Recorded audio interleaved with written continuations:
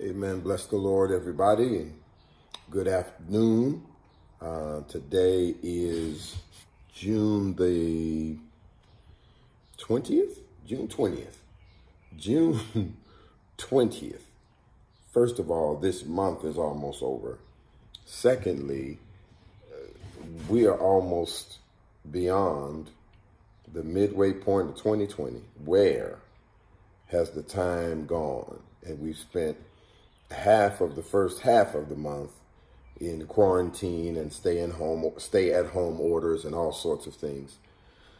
So what a year it is, uh, and that it has been so far. Hopefully, prayerfully, uh, we will see um, things getting better uh, the rest of the the next half of this year.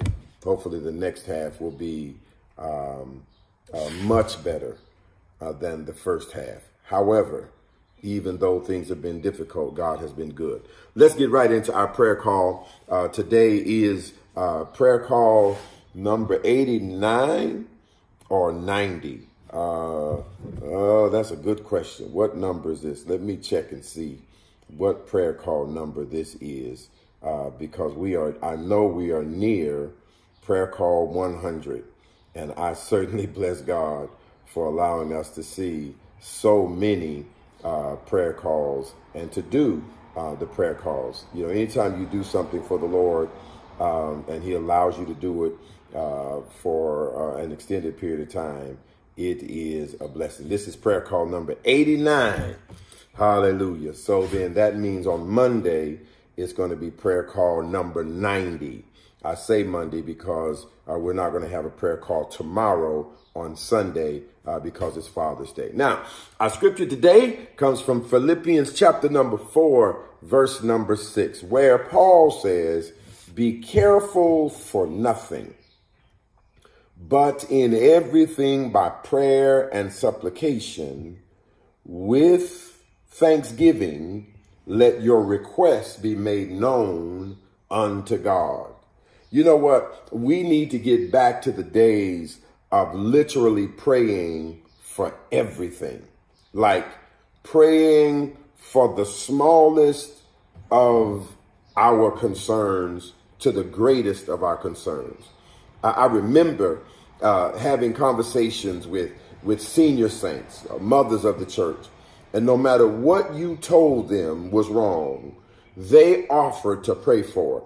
Mother, I broke my fingernail, baby. Let me pray for your fingernail. I'm going to be praying that your fingernail grows back. Uh, uh, uh, uh mother, uh, my heart was broken. Let me pray that the Lord mend your broken heart. Mother, I, I'm, I'm having problems on my job. Let me pray for that job. Listen, they understood what Solomon meant when he said the little foxes uh, ruin the vine or the little foxes will spoil the vineyard. It'll spoil the thing. Uh, you know, they say one rotten apple uh, will spoil a barrel.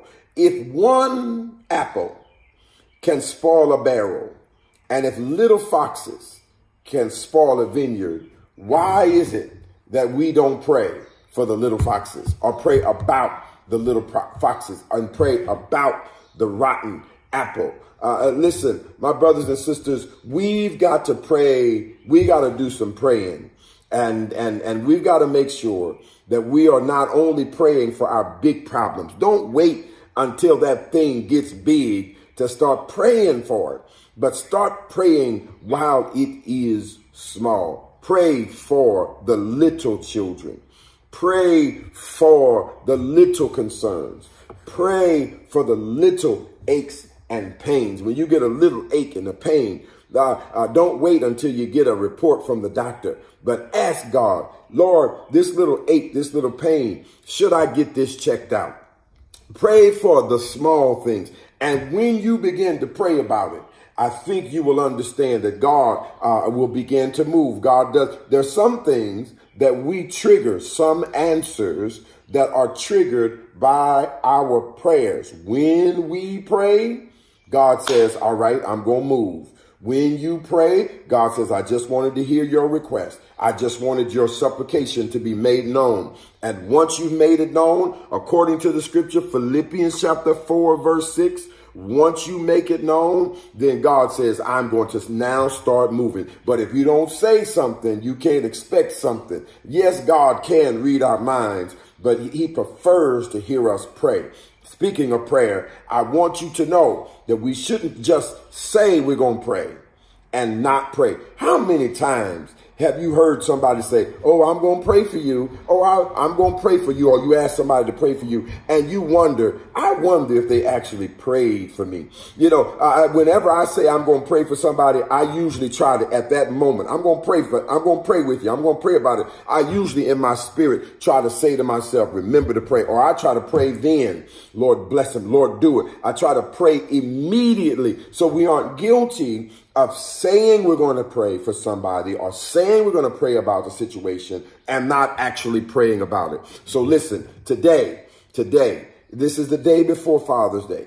Father's Day is tomorrow, and I want to pray for the fatherless.